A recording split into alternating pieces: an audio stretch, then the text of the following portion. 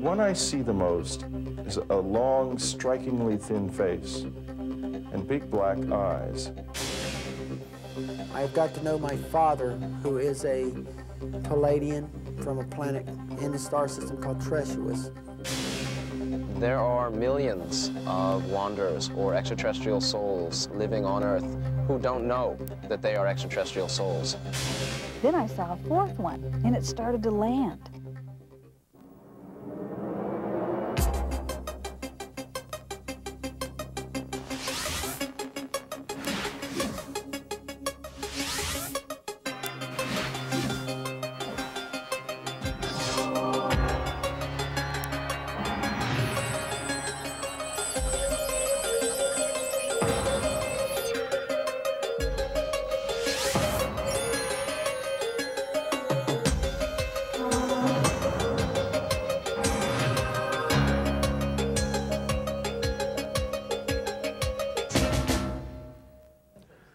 This is UFO Chronicles, and I'm Lee Majors. Since the dawn of time, we have looked to the heavens and asked the question, are we alone? In the next hour, we'll look into a variety of stories, mostly from everyday people who claim to have experienced a UFO sighting, to have had a UFO encounter, or even an alien abduction. It's perhaps fitting that we start with a first-hand account of alien abduction from a man who claims to have been abducted a number of times, a man who has recounted his experiences in his best-selling books. On December the 26th, 1985, in the middle of the night, I found myself waking up in the presence of some extremely strange figures with huge dark eyes, and I could not get out of the nightmare. Ultimately, I was forced to conclude something unknown had happened. I had been in the presence of the unknown on that night. This was the first in a series of encounters with what Whitley Strieber describes as undeniably real, fierce, and quite amazing creatures who are visiting Earth. Taken out of his cabin and into a wooded area, Strieber claims these humanoids took him to the interior of a UFO. I woke up in a little round, rather messy room that was stuffy and full of these very rapidly moving apparitions, I would call them. And uh, uh, with an automatic voice that kept repeating, what can we do to help you stop screaming? I remember something being fired into the side of my head that made a flash in my eyes and left an injury that I felt later, a red swollen place uh, on my temple. And it hurt. It hurt like, you know, it was achy, it, like it was sore. I said, you have no right at one point, and they said, we do have a right. Strieber describes his emotion during the situation as horrifying, an unbelievable terror he had never experienced before in his life. Subsequent to the experience, I was equally frightened because I thought that I had some sort of disease that had caused a, a uh, spectacularly vivid hallucination. Strieber eventually underwent a series of psychological and neurological tests, and even a polygraph examination. It was concluded that there was nothing wrong with him, physically or mentally, and he passed the polygraph. Other encounters followed. He became less frightened of them over the years, and eventually came to think of these experiences as fascinating adventures, a chance to see a completely different spectrum of human understanding, and even beyond that. It's fascinating. It, I realized after the first three or four years that I, no matter how startling it got, that I obviously was not being hurt.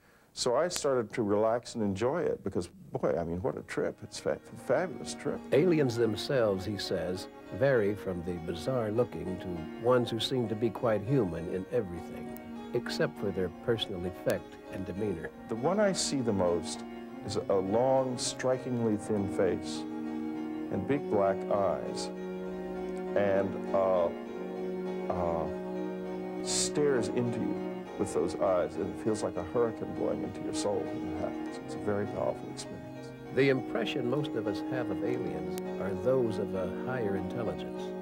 Could it be these beings have as much to learn as we do? My observation of them is that they don't have higher intelligence than we do. Uh, I've seen them make plenty of mistakes. I've seen them get confused. I do think that they have a level of mind that we don't have. I think that they can see beyond time and that they can ma manipulate their their relationship to physical reality differently from the way we can. Strieber received thousands of letters from people all over the world. The startling fact is that the detailed descriptions of their encounters with aliens were similar. I'm sure that every night and day all over the world this is happening to more and more people. Physical evidence of these visits from the aliens come in the form of markings on their bodies. I have a little shadow in my finger which came there when I was about age nine. I have only the dimmest memories of a very violent and noisy experience in which it happened. In a culture of denial, where anything outside the human understanding is dismissed as abnormal or improbable, Strieber's claims are viewed with skepticism. I think that skepticism is healthy. I don't think that it's appropriate to say a thing is true or untrue. Strieber claims that at this moment, there are about two to two and a half million people in this country who've had face-to-face -face encounters. It's a hard pill for some of these skeptics to swallow. In 1963, Carl Sagan wrote an essay saying that we'd probably be visited by aliens on the average of every 10,000 years. So why not now? It doesn't seem at all improbable to me. I don't know what the, I don't know what the big, all the screaming about it can't be possibly true, it can't be true is. It's very strange. Why, why wouldn't it be true? The universe is such a huge place. One question remains. Why don't these aliens make a public appearance? Eventually it'll reach a critical point where enough people have been acclimatized so that as a species we will basically be able to handle it. And if I know the visitors, they will appear publicly about one second after that moment is reached. Fear obviously plays a big role in our expectancies of these creatures. If they come here to harm us, how could we defend ourselves? And if they come here in friendship, how would we know? They seem to want us to come into contact and resensitize ourselves to our souls and to begin to see the world in a broader way. I think they might be looking for a companion. I don't know what they are. We may not even be able to put into words what they are. We may not have the language to explain it. One fact remains. As Whitley Strieber wrote in his book, Breakthrough, The Next Step, whatever it is, it's something outside of human beings, not something human minds can understand.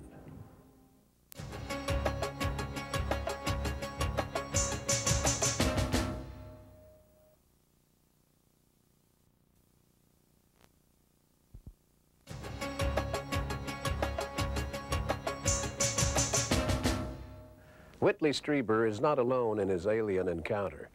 As we delve into the UFO chronicles, we hope to shed more light upon the subject. In fact, many people not only say extraterrestrials exist, but they say they've actually had personal contact with them. For these people, the experience of being abducted has often left them terrified. Look through any bookstore and you'll find a variety of books containing detailed accounts of abductions and apparent human research by aliens. Often they're written by psychologists, PhDs, and MDs. Often reports were elicited from patients during hypnosis. Many give detailed descriptions of their abductors.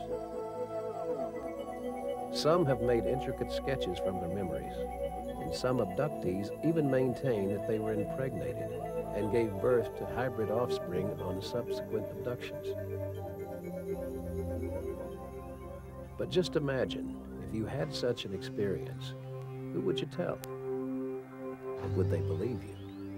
Psychologists say most abductees would be reluctant to go public with their bizarre stories. And for these reasons, those who have come forward may only be the tip of the iceberg. We were contacted by a young lady from Montana who agreed to tell her story with the stipulation that we not show her face or divulge her name on television. Here's her extraordinary account. The reason I've decided to tell this now is because I want other people who have had similar experiences to know that they're not alone. They're not crazy. I was going to school in Missoula, and it was spring break, so I was headed home to see my folks. The sun was going down when I hit the cutoff to 191. You know, it gets pretty windy and, and slow in that area. It's very desolate. After a while, I came around this one curve and I saw this really bright light. It was in the middle of the road. It was so blinding. At, at first I thought it was the spotlight from like a police car. But then I realized that it was too high off the ground to be coming from a car. So I put my foot on the brake, but it didn't do anything. I, I just kept going. The motor ran like my foot was still on the gas. Then the truck slowed down and, and stopped. Right in front of that light. I was so scared. I had absolutely no control over my body. As much as I didn't want to go, I, I opened the car door and I started walking towards the light. All of a sudden I went out and everything was dark all around me. But it was like I could make out this ramp. And then all of a sudden this door went up. I couldn't see what the door was in. My eyes were fixed on the opening. I started walking in. It was like my body just took me in. And I don't know what happened. I guess I must have blacked out because one minute I'm walking and the next minute I woke up on this table, like a medical table. All these medical instruments were poking at me and I could hear this whirring sound, like a dentist drill, but not quite that loud. I couldn't feel any pain when they touched me. I couldn't feel anything at all, really. I just felt like my body was made of lead. I couldn't move. Even my fingers, I, I wanted to see who was doing this to me, but my eyes wouldn't move. I was totally paralyzed. I don't even know how long I was lying there. It seemed like time was different. And then, I guess I must have blacked out again. The next thing I remember, I was back in my truck. The motor was still running and the bright light was gone. My head hurt. It ached, but I got back on the road feeling very confused. I looked at my watch. It was 1 a.m. I'd expected to be home by 10. I finally made it home. I went in and looked in the mirror. I couldn't see any marks on my body, but I knew I didn't dream this. Then I looked at my head. Right inside the hairline, there was this, this little mark. It's never gone away, and it's been a year now. For a long time, I didn't tell anyone about this. Graduated now, and I, I have a good job. People would think I'm crazy, but I know this really happened. If it were only one person, it would be harder to believe. But when you compare all the various accounts and see the similarities from one to another, perhaps it could start to make even you a believer.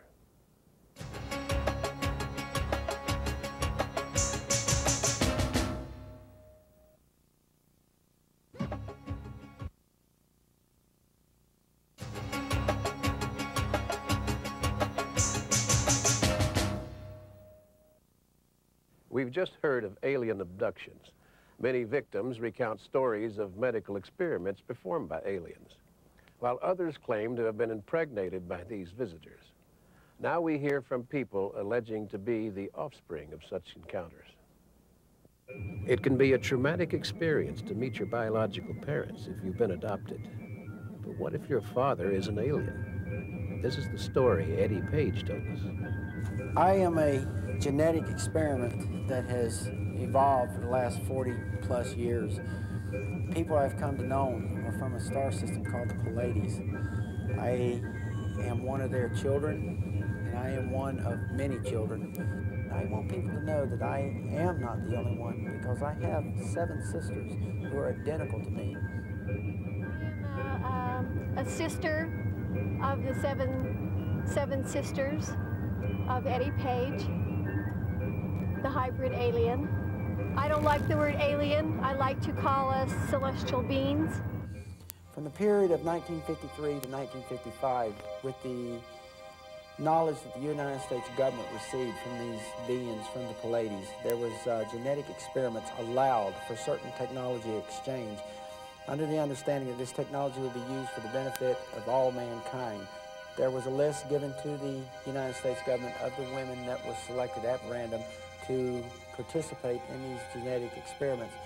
My mother happened to be one of them participants. My mother wasn't supposed to have children. She had a complete hysterectomy, but about four months later, I was born. When we were born, we were sent back out west, we've been told, to a base, a military-sponsored base, where these children were analyzed and kept in isolation.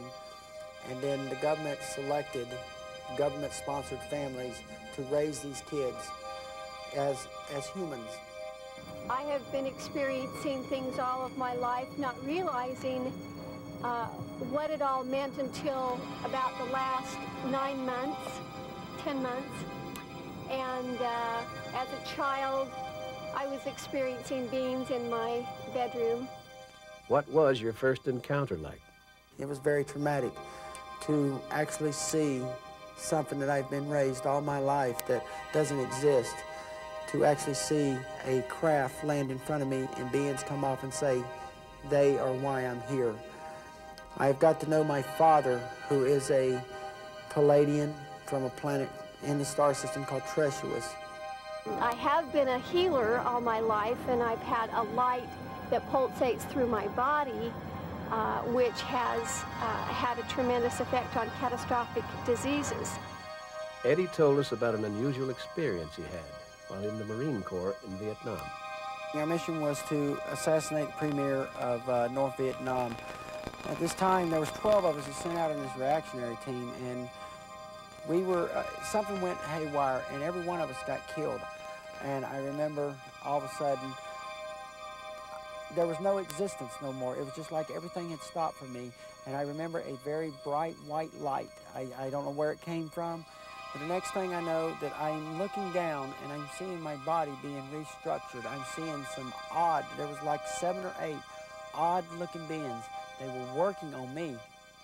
When Eddie was taken up on the ship, I was by his side the whole time and uh, administering my light to him, to his forehead, while they were replacing his body with the eight alien organs.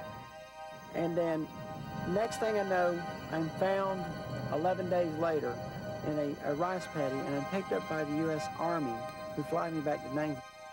Medical records and medical tests done here in the past year and a half have substantiated what I've been saying, that uh, a lot of my internal system, my heart, my blood cannot be identified. Uh, even to the existence, I have an extra vertebrae and an extra rib.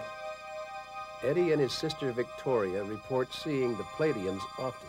They'll always throw flares. Sometimes they'll, they'll throw as many as 20 flares down in a location, kind of a little celebration. They will, they will show, throw out streamers, which like what she says, like, they look like flares. And what they are, they are electrical streamers, and they, they charge the atmosphere. And, and this is a, a way of identifying themselves. According to Eddie, the Pleiadians have been visiting our planet for thousands of years, nurturing our growth. And, he says, the best is yet to come. I will tell you, probably in the year 1997, there's going to be one of the most beautiful announcements in the world has ever known. It's going to be the greatest event that mankind has ever known. The search for unidentified flying objects is one of the most popular pursuits of our time. There are more reports of UFO activity today than ever before. Are we alone in the universe? Have other beings visited our Earth? And has the government hidden the truth from us? The interest in the subject keeps growing and growing. We went to Bob Brown's annual International UFO Congress. One of the questions asked was, is the government covering up what they know about ETs and UFOs? The governments have got their ways of keeping their secrets, as many secrets they've been keeping for years and years and years, which the public uh, probably will never ever find about. They've, they've got their ways of suppressing people, but I think the biggest thing they ever did was create the aura of ridicule around the subject. Uh, they, it was a, a, a, wonderfully orchestrated thing where people who lived in respons uh, worked in responsible positions and this kind of thing, uh, because of the ridicule syndrome that went with this thing, they, they were in imminent danger of being uh, branded lunatics and losing their positions. Anybody who talked about the subject was branded an idiot. But of course that only went for so long and after many, many more people started to have encounters and experiences, sooner or later this thing was going to surface. And that's precisely what it's doing at this moment in time. I was fortunate a number of years ago to have a cosmic top secret clearance when I was at Shape NATO. That clearance allowed me access to the Shape NATO study that they did from 1961 to 1964. And at the completion of that three-year study, they concluded that we were not alone, we'd probably never been alone, that we were being visited, surveyed, studied, or some, some program of some kind was underway by several, and I want to repeat, several high-technology extraterrestrial civilizations. The impact of that alone on me was kind of earth-shaking. They determined as a result of their three-year study that there did not appear to be a military threat involved, which was basically the primary purpose of the study itself in the first place. Daniel Sheehan is the well-respected lawyer who broke the Karen Silkwood case. He also exposed the Iran-Contra scandal to Congress. He told us that President Carter asked the head of the Science and Technology Division of the U.S. Congress Research Office to find out about UFOs. She began to prepare the data, was given access to both unclassified and some classified data to, to prepare her report.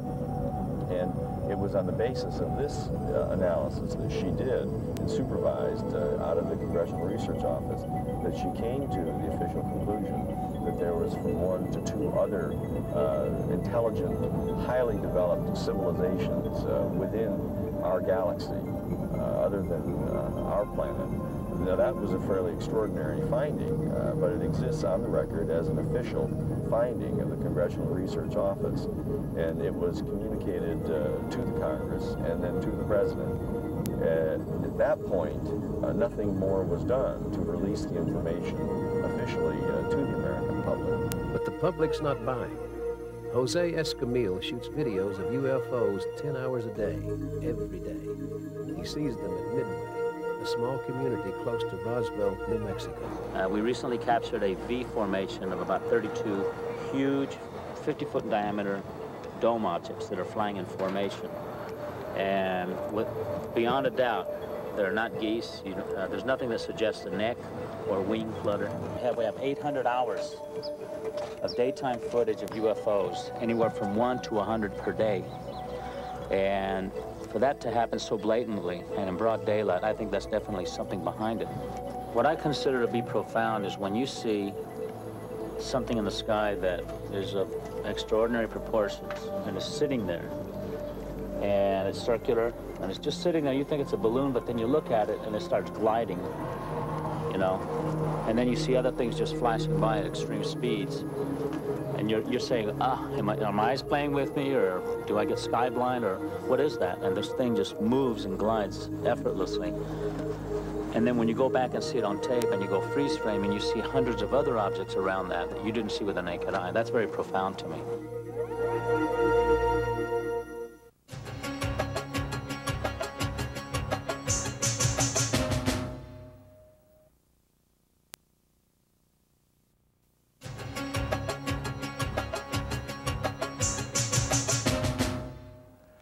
Brought you stories of UFO sightings and UFO cover-ups and even alien abductions. Now we've uncovered an even more bizarre twist to the category. It seems there are a group of people numbering in the thousands who claim to be from other worlds, but for the time being reside on this planet. It certainly raises the question that decades ago was simply a joke. Could your neighbor be an alien? I wrote this book basically for two reasons. The first is that there are millions of wanderers or extraterrestrial souls living on Earth who don't know that they are extraterrestrial souls. They felt different all their lives, uh, and they couldn't make sense of it. And the second reason is that Um, the UFO phenomenon, as we see it shown in the media today, is generally slanted towards fear. ET souls are souls that are not native to Earth. Generally, they are hundreds of thousands or millions of years older than consciousness on Earth. So these souls choose to come to Earth for one or many lifetimes, ultimately to be of service, which means to offer what they can through their higher consciousness, generally means love and wisdom and kindness. The main group, however, of extraterrestrials are wanderers. And in my opinion, there are 70 to 100 million extraterrestrial souls living on Earth now, the majority of whom don't know it. Besides wanderers, there are walk-ins. We talked with Aria, a woman who calls herself a walk-in. A walk-in is a being that had a soul exchange with a person born here on Earth.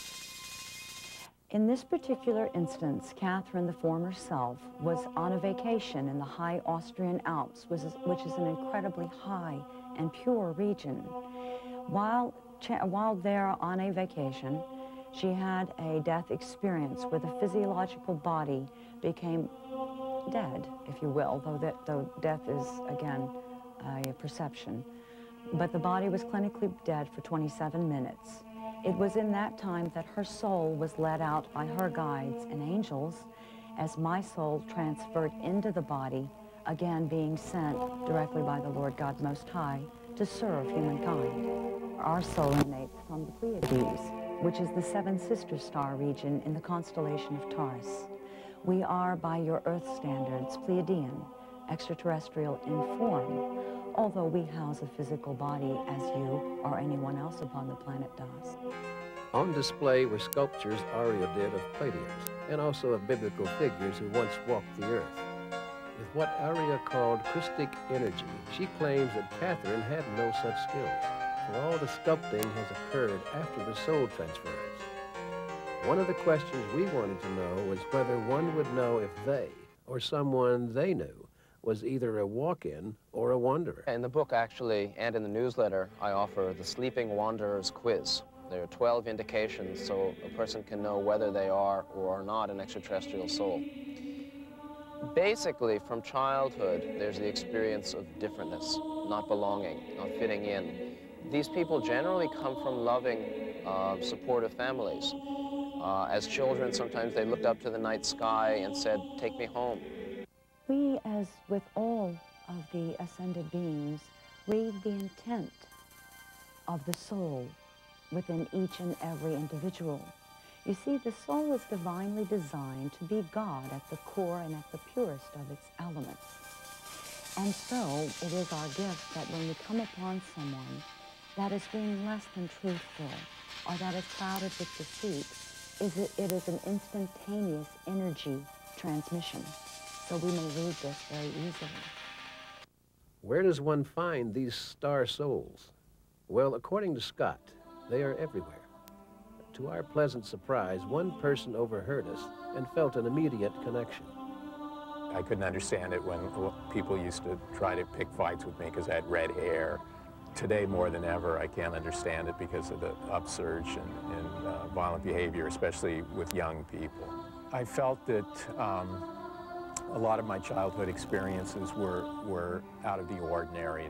I used to hear astral, what they call astral music. When I'd wake up on a Saturday morning, I would hear uh, like distant trumpets and, and voices and things like that.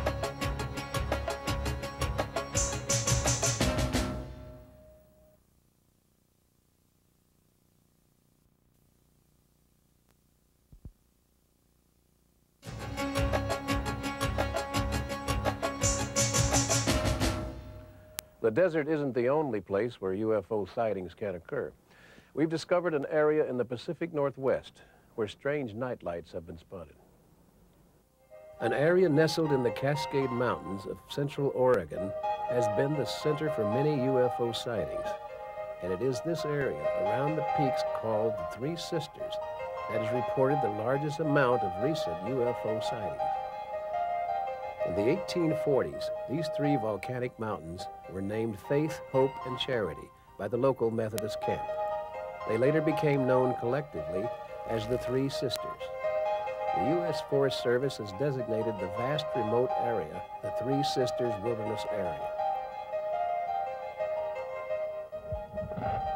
Open only to hikers, it's a place that has very little human disturbance. Most commonly, UFO reports involve a single passing or hovering ship in the air. But we were recently contacted by a backpacker who had the incredible experience of seeing several ships together on the ground. Now here is her amazing story.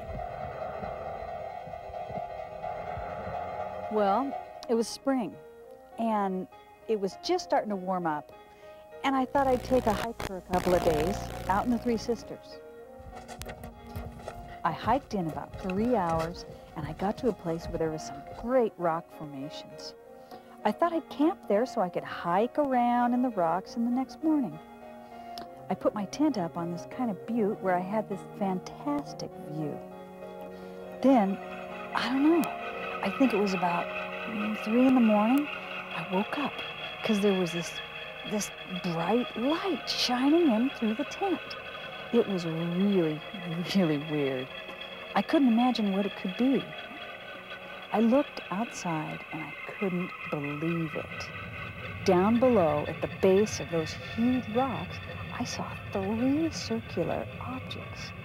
They were really bright, lighting up the whole area. It was the strangest thing I ever saw. I remember thinking, nobody is ever going to believe this.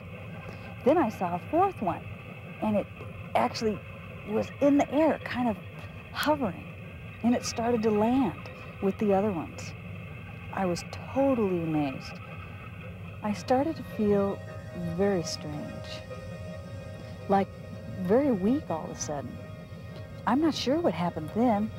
All I know is I woke up outside the tent on the ground. I looked down there and there was nothing anywhere. I never sleepwalked in my life. I knew what I'd seen was real.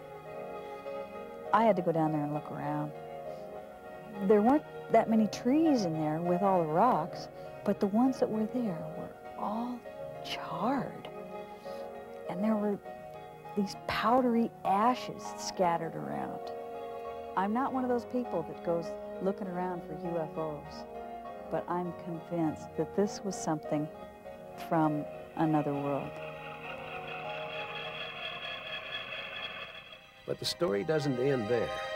Only days later, photographs and videos were taken in the area showing UFOs strikingly similar to those described by Karen. This shot was snapped by a local woman from her back porch. You can see two of the Three Sister Peaks in the background. This photo was taken by a tourist as he stood in a viewpoint area overlooking Bend. And this dramatic picture was captured on the night of May the 6th near the town of Sister, Oregon. Extraordinary. But possibly the most interesting of all is this home video footage shot by a Los Angeles tourist, Jeff Kendall. When it's played back in slow motion, it's quite incredible. Are UFOs now focusing on Oregon because they have work to do there? Or is it just trendy for now? Either way, locals keep a close eye on the sky. On a starry night, you see beautiful spears of light racing across the horizon, defying all earthly logic. After doubting your own perceptions, the next question you may ask is, are we alone? We asked, and you might be surprised by the answers we received. UFOs had been visiting the planet Earth before recorded history, and this goes clear back beyond even the Old Testament, which is dated by Archbishop Ussher as 4000 BC.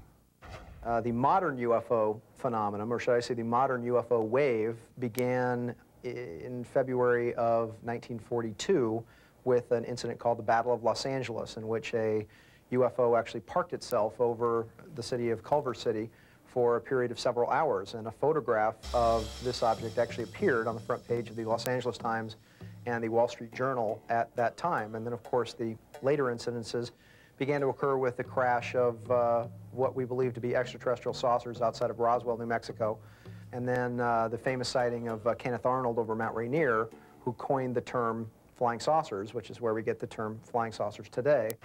UFO sightings have taken place over major cities and in full view of many, many people. For instance, the one that was taken over San Francisco, California.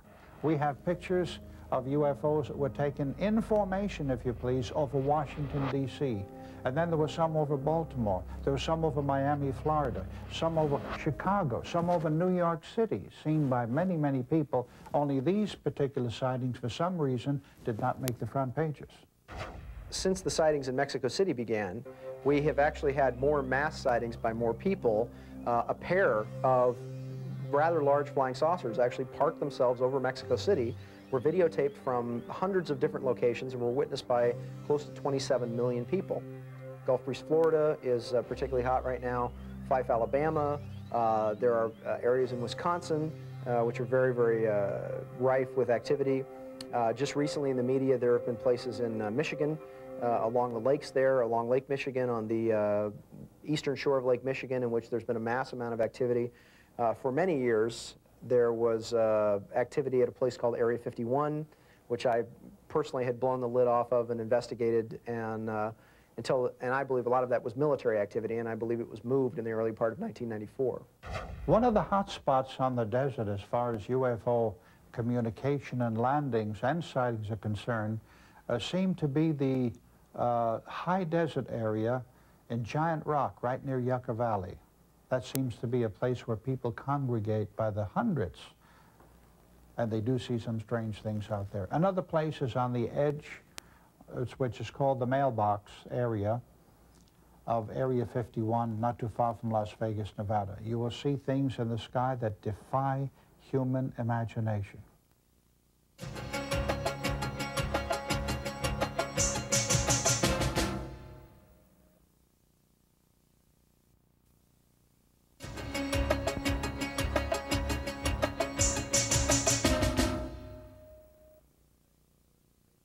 The international organization, the United Nations, promotes peace and unity between the countries of the world.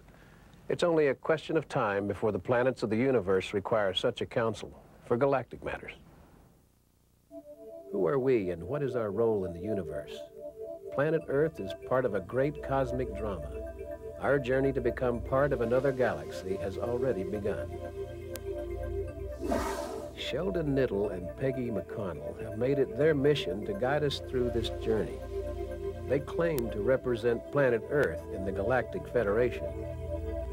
The Galactic Federation is a group right now of over, or just about 200,000 star systems and star leagues whose sole process and purpose is to bring light into this galaxy.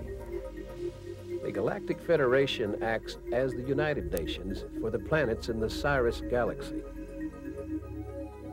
Sirius is a star system. It's approximately 8.3 light years from us. A light year is approximately 5.9 trillion miles. Sheldan says that in order for us to become part of the Sirius star system, we have to change. And that is where the Galactic Federation comes in. The Federation is here to help us shift as humans into our full consciousness. What is happening is we have been designated as a major galactic center or showcase for the entire concept of moving our entire galaxy. He claims the Galactic Federation has instructed him to prepare planet Earth for its major journey to another solar system. There is a telepathic link between Sheldan and Sirians. I was briefed by, uh, by a whole group of Sirians. There's a Sirian computer ship way out in the outer parts of our particular star system, our solar system. So I'm constantly in contact, I'm constantly getting information, I'm constantly being told what's going on, both up there and down over here. The Galactic Federation has a tremendous task in the galaxy.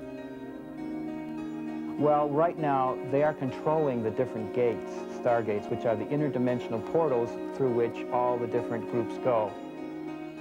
Both Peggy and Sheldan are in contact with the Galactic Federation on a daily basis. He'll get the ship's reports, where I'll get the uh, counseling reports, or I'll get the medical team reports.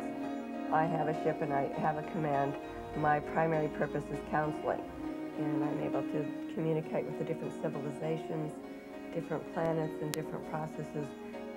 Sheldan has been contacted by the Sirians since childhood. I've been afraid to say it to anybody because I thought they would say I was totally crazy. Most of us right now are here for a basic purpose. That purpose is to help this planet shift into its full galactic crystalline consciousness, as I like to call it, and also help all of us as Earth beings, as Earth humans, become fully conscious beings. Reaching full consciousness means major changes in our outlook on life and in our physical bodies. As planet Earth's electrical and magnetic fields collapse, the atoms and the composition of the DNA in our bodies will be modified to form a new body. We will not be living in the third dimensional reality, but in the reality of the galactic light. The fundamental physical changes also lay in the composition of our DNA. If we would just open our eyes and see that we are the blessings and we are the gift, that really is going to transform our whole galaxy.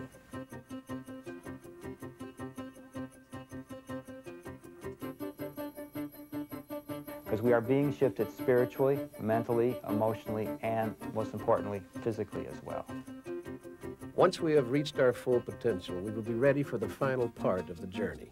As Earth approaches the photon belt in the near future, it will mark the end of our present civilization as we know it. The photon belt is a huge mass of light and energy. It will be responsible for moving our solar system into a higher dimension, the fifth dimension. Our planet will move to a new position in space, closer to the Sirius star system then we will be in a wholly new set of rela spatial relationships. Once our planet has shifted to the new position in space, we will become part of the Sirius star system. The Sirius galaxy is said to be a number of civilizations together, most of them looking like us in their physical appearances. Some are smaller, some are bigger, some are almost transparent. Some are even more uh, humanoid looking, if that's possible, than we are. They have all different skin colors. They are basically our ancestors. They're also, as part of this entire civilization of the Galactic Federation, non-human groups, such as uh, amphiboids, you might call them like salamander or frog-type peoples, uh, reptoid peoples. Sheldan told me that one Sirian council, Washta, has guided him through his life. Washta is a person I've been very close to since I was a little, little boy. I've seen more and more that the message that he gave me and is continuing to give me is a message of great, incredible love and hope for our planet. Sheldan feels that it will be easy to convince people of this incredible change because it has already started. They feel deep in here in their heart that it's true because they feel that experience inside themselves as well. And this whole new reality is our full conscious planet, our full conscious galactic civilization, and the final intermixing and contact with the whole process of our space brothers and sisters and ourselves coming together again. They say we will play an important role in the Sirian galaxy. Because we're going to be the teachers the next round. And so it's very exciting to see, even in the Bible it says that the last shall be first. Well, we're the last planet to go conscious in the solar system, but the next round of our solar system will be the teachers to teach these other planets how to use free will, how to be loving, and how to be compassionate. If the Galactic Federation is right, the planets of the entire galaxy will be reuniting again for the first time in billions and billions of years.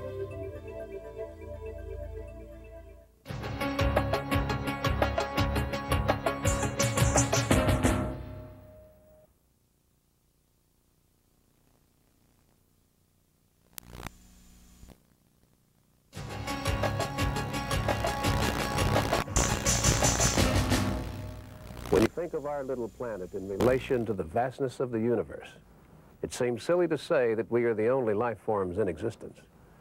If we could agree that life in other galaxies, other solar systems, and on other planets is a probability, then it would make sense that they would be interested in space exploration just the way we are. Something to think about. I'm Lee Majors, and thank you for joining us.